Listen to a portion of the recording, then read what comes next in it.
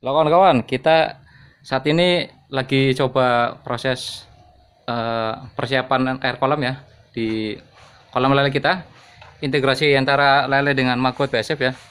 Jadi ini kita sudah proses fermentasi dan kita kurangi airnya ya, teman-teman. Di sini kita lihat airnya itu cukup tinggi ya di sini. Untuk penebaran bibit kita tidak perlu air yang tinggi-tinggi nih. Makanya kita kurangi ini.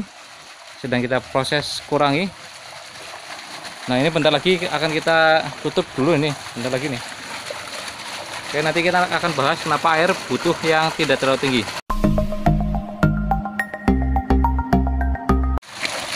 Ini kita buang airnya dulu ya teman-teman ya, sampai eh, kira-kira uh, ukurannya itu se apa ya, sehasta atau selengan lah, selengan tangan. Jadi benih itu nggak terlalu tinggi untuk bisa menjangkau permukaan air itu. Oke, ini kira-kira udah mulai ini. Kita harus tutup dulu teman-teman. Oke. Karena kita pakai sistem seperti ini jadi tutupnya gampang ya. Ya seperti itu aja. Selesai.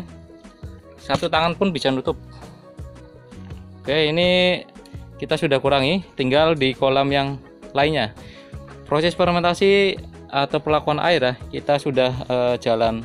Kalau nggak salah semingguan ya. Seminggu ya Kang. Seminggu persisnya ini ya hari ini dan sudah muncul ada tanda-tanda vlognya di tengah-tengah kolam ya. Ini kita fermentasi sederhana dengan ramuan M4 dan molase serta ada beberapa uh, apa pisang ya pelepah pisang untuk bisa menetralkan suhunya. Nah yang bagian sini nih masih tinggi. Kita akan coba rilis kuras lagi teman-teman. Nah ini. Oke.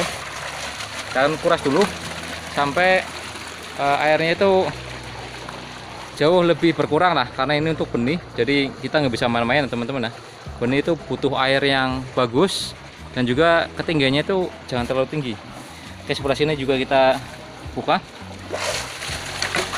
Oke sisa satu kita juga buka. Oke kita coba kurangi dulu ya teman-teman ya. Tiga kolam kita buka kita akan kurangi sampai airnya itu kira-kira satu lengan aja lah cukup lah. Karena kalau terlalu tinggi ini resikonya adalah pada saat malam itu dingin banget sehingga nanti suhunya berpengaruh juga ke air eh, apa ke benih lele. Yang kedua lele kan kadang ini ya bernapasnya juga eh, apa ya ke permukaan itu loh. Makanya kalau terlalu tinggi benih itu susah untuk bisa menjangkau permukaan. Makanya kita kurangi. Nah ini treatment kita ya untuk kolam-kolam lele kita sebelum uh, kita tebar benih karena persiapannya harus matang ya. Selain persiapan fermentasi ya tadi ketinggian air ada juga pelepah pisang sebelum kita tebar benih. Nah tebar benih kita juga perlu mewaspadai ukuran ya. Kalau yang benar-benar awam belum pernah budidaya 57 lah paling enggak tapi kalau yang sudah mulai expert mungkin masa amannya 46 47 lah. Seperti itu. Jadi kita aman sampai panen dengan sistem kombinasi uh, Magot BSF integrasi farming di dalam. Jadi pakannya dari situ dari Magot untuk lele kita teman-teman. Sehingga profitnya itu makin besar makin banyak dan makin bisa berkembang untuk bisa berbagi kepada teman-teman semua. Oke? Okay? seperti itu ya uh, situasi kondisi kita sore hari ini. Semoga bisa jadi manfaat bagi teman-teman semua. Oke momen terus bergerak. Salam